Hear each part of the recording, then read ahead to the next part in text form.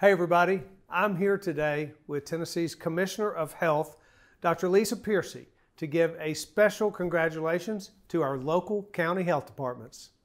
Last week, you all reached a very impressive milestone with more than 100,000 COVID 19 tests conducted. This pandemic is testing all of us. It's testing our communities, our economy, and our way of life. But Tennessee can win this fight with widespread testing. And because of the work you all are doing to provide accessible testing to every Tennessean, we are well on our way to flattening the curve and safely rebooting our state. Thank you for all that you do for our communities and for our state. Congratulations again.